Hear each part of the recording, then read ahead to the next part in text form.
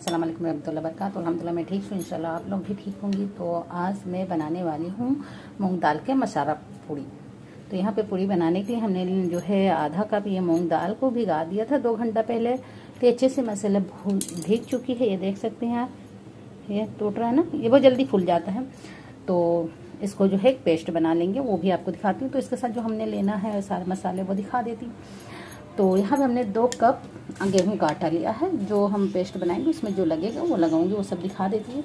दो कप है गेहूँ का आटा और यहाँ पे हमने लिया है एक छोटी चम्मच धनिया पाउडर, हाफ़ टी स्पून हल्दी पाउडर, हाफ़ टी स्पून लाल मिर्च पाउडर, ये अमचूर पाउडर है।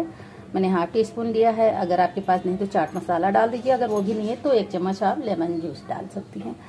ओके, और यहाँ पे हमने लिया हाफ़ टी स्पून नमक, और पाँच चम्मच हमने लिया है गरम मसाला। और यहाँ पे हमने लिया है चम्मच से तीन टेबल स्पून रवा यानी सूजी। और यहाँ पे हमने तीन मिर्ची लिया है और एक इंच अदरक का टुकड़ा है, इसको इस तरह से बारीक काट लिया है, चार से पाँच जवे लहसन लिया है और एक छोटी चम्मच हमने सौंफ लिया, एक छोटी चम्मच हमने जीरा ले लिया है और यहाँ पे हमने ले लिया है हरी धनिया बारीक कटी हुई। यहाँ पे देखिए हमने धुल के और मिक्सी जार में डाली है और जो हमने ये खड़े मसाले आपको दिखाए थे, ये इसमें डाल देंगे और इसका जो है एक बारीक से स्मूथ पेस्ट बना लेंगे और इसमें डालेंगे आधा कप पानी। ओके, अब इसका पेस्ट बना लेते हैं। यहाँ पे देखिए हमने पेस्ट बना लिया है, अब इसको इसमें डाल देंगे। ओके, सारा पेस्ट निकाल लेंगे। और अब इसमें हमने जो तीन टेबल स्पून सूजी लिया है, वो भी डाल देंगे। और ये जो हमने मसाला आपको दिखाए थे, स्पाइसी के सारे स्पाइसी मसाला डाल देंगे। अब इनको अच्छे से मिला देंगे। और 10 मिनट के लिए इसको छोड़ देंगे तो ताकि जो है सूजी जो है अच्छे से, रवा जो है अच्छे से फूल जाए। जब ये फूल जाएगा ना तो इससे अच्छा जो है इसका रिज़ल्ट आएगा। इसको रेस्ट देना बहुत ज़रूरी है। तो यहाँ पे इसको 10 मिनट हो गया है, ये देखिए अच्छे से फूल गया है। तो मैं यहाँ पे आधी चम्मच डाल रही हूँ। अजवाइन क्रश किया हुआ है। हमने हाथ से इसको क्रश कर लिया है। इससे बहुत अच्छा टेस्ट आता है। और एक टेबल स्पून डालूँगी इसमें सफ़ेद तिल। इससे बहुत अच्छा टेस्ट आता है। और ये है वन टीस्पून क्रश किया हुआ है, कसूरी मेथी। तो चलिए मैं थोड़ा थोड़ा करके आटा डालूँगी इसमें, और एक मुट्ठी इसमें जाएगी बारीक कटी हुई हरी धनिया। तो थोड़ा थोड़ा आटा डालेंगे और इसको गूंद लेंगे।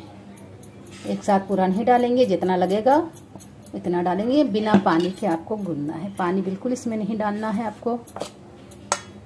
तो यहाँ पे देखिए हमने एक चम्मच जो है वन टीस्पून मतलब तेल डाला है। अब तेल में इसको गूंद लेंगे ताकि जो है, इस तरह से गूंद के आपको दिखाती हूँ। तो यहाँ पे देखिए मेरा जो है, जिसे मैं पूड़ी और पराठे का आटा गूंदती, बिल्कुल वैसे ही हमें गूंदना है। पानी बिल्कुल नहीं डालिएगा। जब आप दाल पीसीएगा तो ये जो है, चार बड़े चम्मच डालिएगा। हमने ये जो आधे कप का आधा होता ना, इससे हमने डाला है, ये भर के हमने पानी डाला इसलिए मेरा दो ही कप पानी, आटा लगा। अगर आप ज़्यादा पानी डाल देंगे तो आटा बहुत आपका लग जाएगा। फिर आप बोलेंगे, बताए नहीं, आपको ध्यान रखना है, ठीक है? पानी ज़्यादा नहीं डालिएगा, सिर्फ़ चार टेबल स्पून पानी डालिएगा और उसी में आटे दाल को पीसने का। अब चलिए, आप जो है, हमने मूंग का बनाया, आप जो है मक्के का बना सकती हैं, इसी तरह से पूड़ी या पराठा और मलका मसूर का बना सकती हैं, चने की दाल ऐसे ही भिगा के उसका हर, बहुत अच्छा बनता है। हरे मूंग का, इसी तरह से पूरी बनाए या इसका पराठा बनाएँ। मैं पूरी बना रही हूँ और दही, अचार के साथ आप खा सकती हैं। जो चीज़ से आपको अच्छा लगे। तो चलिए मैं इसकी जो छोटी छोटी गोलियाँ बना लेती हूँ। तो यहाँ पे देखिए, मेरी जो है, लोइयाँ बन के रेडी हो चुका है और इसमें से मैं पूरी पूरी नहीं फ्राई करेंगे। मैं छः से सात पूरियाँ फ्राई करूँगी और फिर मैं आपको सर्व करके दिखा दूँगी। ठीक है? कैसे बनाना है, कैसे इसको फ्राई करना है तो ये बहुत क्रिस्पी और बहुत फूली फूली सी बनती है। तो आप जो है मेरी वीडियो को लास्ट तक देखा करें प्लीज़ और लास्ट तक देखेंगे तभी आपको समझ में आएगा ओके तो चलते हैं इसके नेक्स्ट प्रोसेस के लिए। तेल गरम हो रहा है पूरी तलने के लिए तो मैं उससे पहले मैं रायता को तैयार कर लेती तो यहाँ पे हमने लिया है दो कप दही। ये देखिए, बहुत गाढ़ी है मशल से दही है, दो कप है। और यहाँ पे इसमें जाएगी कुछ मसाले तो यहाँ पे हमने लिया पाव, चम्मच काली मिर्च, आधे चम्मच सादा नमक और आधे चम्मच हमने लिया है काला नमक, आधी टीस्पून हमने लिया है ये लाल मिर्च पाउडर, आधे टीस्पून हमने लिया जीरा पाउडर और वन टीस्पून हमने लिया शक्कर और एक टेबल स्पून हमने लिया है लहसन और हरी मिर्च का पेस्ट। हमने दो जो है मिर्ची लिया है और सात से आठ जो है लहसन को इस तावे में भून लिया है और इसके बाद इसको कोट लिया है, ठीक है? इस तरह से आप बनाएँगे, बहुत अच्छा फ्लेवर आएगा आपके रायते में। और यहाँ पे हमने लिया है दो गाजर। गाजर को हमने कद्दूकस कर लिया है और दो, चार टेबल स्पून हमने इसमें पानी डाल के इसको बॉईल कर लिया है। बिल्कुल इसमें पानी नहीं है, आप देख सकती हैं। और यहाँ पे हमने तड़का के लिए लिया हींग और कड़ी पत्ते और दो मिर्ची और वन टी हमने लिए जीरा। तो सबसे पहले चलिए सारे मसाले मिला लेती हूँ इसमें। तो यहाँ भी देखिए हमने जो है डाल दिया है गाजर को। अब इसमें डाल दूँगी मैं। ये जो हमने मसाले आपको दिखाए थे, ये सारे मसाले इसमें डाल देंगे और अच्छे से इसको विस्पर से मिला लेंगे। ये देखिए रायता बिल्कुल ठंडा करके डालिएगा वो। गाजर को ठीक है, मैंने बिल्कुल ठंडा कर लिया, फिर डाला है। ये देखिए, चलिए अब इसको जो एक साइड में कर देती हूँ इस पर एक तड़का तैयार कर लेती हूँ। अभी इस स्टेज पे हम नमक चेक कर सकते हैं। और नमक बिल्कुल परफेक्ट है। अगर आपको ज़्यादा पसंद है तो थोड़ा ज़्यादा डाल दीजिए। यहाँ पे देखिए हमने दो टेबल स्पून तेल डाल दिया और इसमें डाल दूँगी मिर्ची, कड़ी पत्ता एंड जीरा। थोड़ा रुक के डालेंगी मैं इसमें। हींग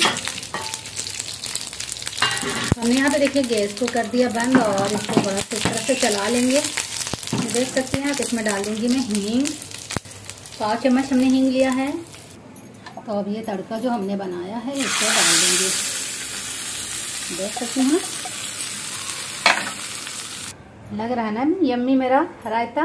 तो यहाँ पे मेरे जो है कैरेट यानी गाजर का रायता, तड़का दाल बिल्कुल तैयार है। चलिए फटाफट में पूरी तल लेती हूँ।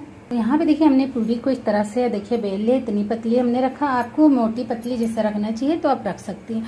तो हमने चकले पे थोड़ा सा तेल लगा लिया और बेलन में लगा लिया फिर हमने बेला, अगर आप चाहिए तो सूखा आटा लगाकर भी बेल सकती हैं।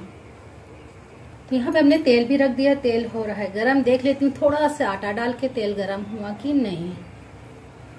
तो तेल गर्म हो गया है तो मैं इसमें अपनी जो है पूरी डाल देंगे। देखिए इसी तरह से हम सारे पूरी बेल लेंगे। और फिर आपको दिखाते हैं। ये देख सकती है ना मेरी फुरी फुरी ये देखिए हम दोनों साइड से बिल्कुल गोल्डन हम ऐसे ही फ्राई कर लेंगे। देख रहे हैं ना, बिल्कुल फूली हुई है ऊपर तैर रही हैं। तो इसी तरह से सारे हम जो है फ्राई कर लेंगे। यहाँ पे देखिए हमारी जो है खस्ता पूरी बनकर रेडी हो चुका है मसाला पूरी और यहाँ पे मेरा आता है। तो मैं चल को खा के दिखाती हूँ आपको। थोड़ा सा टेस्ट करूँगी कैसा बना है। और मैं करूँ कराऊँगी एक लोग से। वो है मेरे हस्बैंड जी। थोड़े से चेक करके बता कस्टा ये देखिए। तो यहाँ पे होती है मेरी वीडियो क्लास मेरी वीडियो क्लास तक देखा करें प्लीज़ मेरी वीडियो को लाइक शेयर कमेंट सब्सक्राइब कर दिया करें और दुआ में याद रखा करें। ये सब आपकी तरफ़ से प्यार मोहब्बत होता है। ये रायता ज़रूर बनाइएगा। हम्म? बहुत अच्छा माशाल्लाह बहुत अच्छी कुरकुरी और बेहतरीन। हफ्तेदार आपकी पूड़ियाँ बनी हैं और रायदार का तो माशाल्लाह जवाब है। जवाब बहुत अच्छा, माशाल्लाह बहुत अच्छा। हम नेक्स्ट टाइम अगर बिरयानी बनाना तो यही रायता बनाना बहुत बेस्ट है। माशाल्लाह बहुत अच्छा। चलिए अल्लाह हाफिज़।